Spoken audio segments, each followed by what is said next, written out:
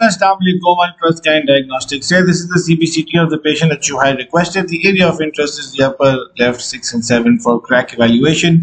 Um, focusing mainly on the upper left 6 first, we can very clearly see that there is a slight crack here or a line here that could be uh, where we believe the crack extends. We see a line extending from the pulp chamber palatally on the 7th as well.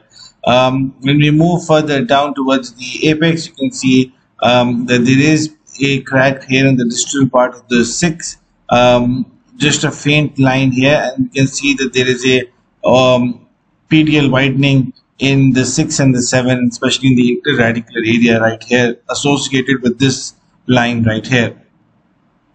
When we move further down you can see that the crack is still uh, present and as we are moving further down you can see that the radiolucency still exists between the 6 and 7 but primarily it is extending from the sixth and it is not a periodontal lesion. It's actually a lesion that extends from the root so it could be an endo-perio lesion as well.